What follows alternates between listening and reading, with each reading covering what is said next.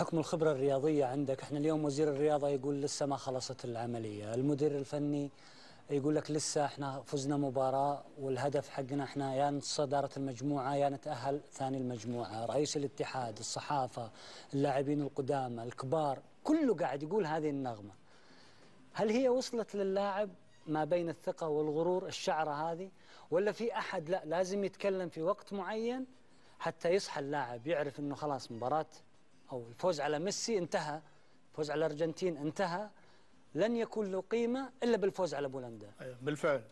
يعني هو المدرب يعتبر المحفز رقم واحد حقيقة. المدرب وشفنا محاضرة البارحة حقيقة يعني أنا متأكد حركت كل كبرياء اللاعبين في أنه يقدمون هذا المجهود اللي بذلوه مع الأرجنتين. فهو المدرب لازم ينبه على هذا الشيء. حقيقة هي مو مباراة حاسمة وانت فزت على الأرجنتين وانتهى. أنت ملزم أنه تجمع أكبر عدد من النقاط حتى تعبر دور المجموعات. وهذا موضوع مو سهل بصراحة يمكن تكلمنا على بعض الجوانب الفنية آه، قبل يومين. أنا خايف من شيء واحد بصراحة. خايف من المردود البدني. لأنه اللاعب الأوروبي حقيقة يعني مثلا لو أخذنا مثال لفدانوفسكي اللي يلعب في برشلونة. في برشلونة يلعب دوري 38 مباراة يلعب كأس سوبر وكأس ملك على ما أعتقد. صحيح. ويلعب دوري أبطال ويلعب FIFA Day رسمي ودي مع منتخب بلده. يعني لو تجمع يطلع تقريبا بال 75 مباراة بالموسم. وهذا فد رقم جدا عالي حقيقه لو تقسم على أيام السنة يطلع كل ثلاث أيام وأربع ساعات مباراة. فمطبع على هذا الشيء. اللاعب الأوروبي مطبع على هيك مجهود. وبالتالي يعني هنا الفارق يبدي. رجع الفريق السعودي إلى وضعه الطبيعي. رجع fresh عنده القدرة الآن يبذل المجهود اللي بذله مع الأرجنتين. هنا نقطة الفارق راح تبين حقيقة. أضف إلى ذلك الجوانب الفنية اللي أشار إلى الكابتن أحمد. أنت صعب المباراة على خصمك. والعب على النقاط المميزة اللي يتمتع بها الفريق البولندي. الفريق البولندي آه، ما بيه نجوم عاليين ومميزين يمكن المهاجم فقط لكنه فريق جماعي يمتلك قدرة قدرات بدنية جدا عالية ويلعب على التحولات. هاي التحولات حقيقة عندما ينطيك مجال أنت ويرجع يدافع بنص ملعب هنا ضروري جدا تنتبه. أول جدار صد للهجمة المرتدة لازم يكون من لاعبي الوسط.